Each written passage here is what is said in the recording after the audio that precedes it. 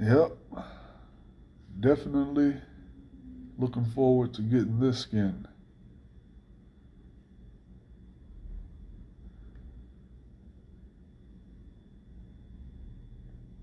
I found out that this is uh